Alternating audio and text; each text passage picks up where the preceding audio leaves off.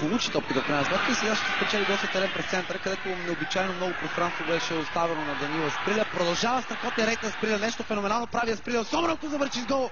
О, какво попадение в 26-та минута. Данила Сприля се подигра с отбора на Лудогорец. Повторение, които ще видим. Топката бе овладяна някъде около централния кръг.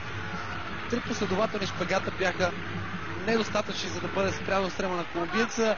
И тук той заслужава отлични думи заради правилната си преценка. Да, имаше негови съборници, той обаче знае добре, че е много опасен на скорост.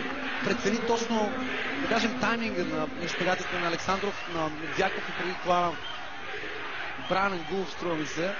Точно ето тук Ангулов се хвали на, на шпагат. А, и когато вече се изправи лице в лице с Моти, погледна разположението на Владислав Стоянов,